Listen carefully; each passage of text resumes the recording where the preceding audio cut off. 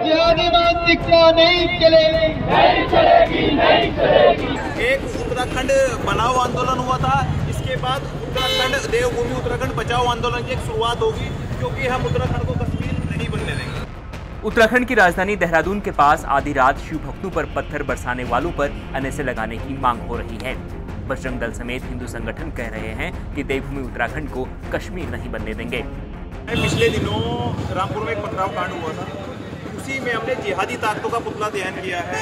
और एक पुतला दहन का संदेश ये है, हमने सरकार और प्रशासन को ये जो पहले भी हमने मांग की एन एनएसए की, जितने भी उसमें पत्थरबाजी में एक हज़ार पाँच सात लोग पुलिस ने उसमें मुकदमा दर्ज किया है उन लोगों पे। सभी लोगों की गिरफ्तारी हो और उन पर एनएसए और गैंगस्टर के तहत कार्रवाई हो। इससे कम कुछ भी मंजूर नहीं है। अगर इसके तहत कार्रवाई नहीं होती है, एक उत्तराखंड बनाओ आंदोलन हुआ था, इसके बाद उत्तराखंड देवभूमि उत्तराखंड बचाओ आंदोलन की एक शुरुआत होगी क्योंकि हम उत्तराखंड को कश्मीर नहीं बनने देंगे। पुलिस लगातार कार्रवाई करी कल भी एक आरोपी पकड़ा गया है उसी मामले में। पुलिस कार्रवाई कर रही है लेकिन जिस जिस गति से पुलिस की कार्रवाई चल रही है वो आप देख सकते हैं पिछले लगभग आठ दिन हो चुके हैं घटना को लेकिन केवल छह व्यक्तियों की गिरफ़्तार हुई है और मुकदमा है एक हज़ार कुछ लोगों पर। उत्तराखंड में 14 जुलाई की रात हरिद्वार से गंगा जल लेकर आ रहे शिव भक्तों पर पत्थरबाजी हुई। भगवान शिव की मूर्ति को भी नुकसान पहुँचाया गया और शिव भक्तों ने कहा था कि ये सब मुस्लिम समुदाय के लोगों ने किया है। शिव भक्तों का आरोप था कि आधी रात करीब दो बजे सैकड़ों मुस्लिम युवा इकट्ठा हुए और सांप्रदायिक माहौल खराब करने की कोशिश हुई।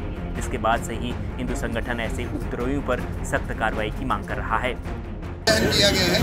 ये हमारे द्वारा शासन प्रशासन को एक संदेश देने के लिए मुद्दा दहन किया गया है कि अगर आप सख्त कार्रवाई नहीं करते हैं तो हमारी मांग पहले दिन से लगातार जारी है कि एनएसए और उनकी जाँच हो और उनके घर को बुलडोजर चलाया जाए। ये मांग अगर हमारी पूरी नहीं होती तो ये एक संदेश हमने दिया है आज पुतला दहन करके कि हम बड़ा आंदोलन क्या नाम है?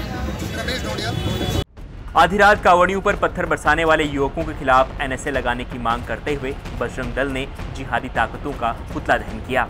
प्रदर्शनकारियों ने कहा कि कावड़ियों पर किए गए पथराव में पुलिस ने 1000 से अधिक लोगों के खिलाफ मुकदमा दर्ज किया था। उन सभी लोगों की गिरफ्तारी हो और पत्थरबाजों के खिलाफ एनएसए और गैंगस्टर एक्ट के तहत कार्रवाई हो। और इससे कम कुछ भी हमें मंजूर नहीं। उत्तराखंड में पुरोला मामले के बाद हिंदुओं और मुस्लिमों के बीच तनाव तेज़ी से बढ़ा है।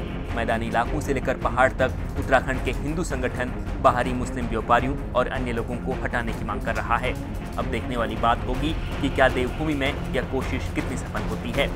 उत्तराखंड तक के लिए विकास नगर से टीना साहू की रिपोर्ट।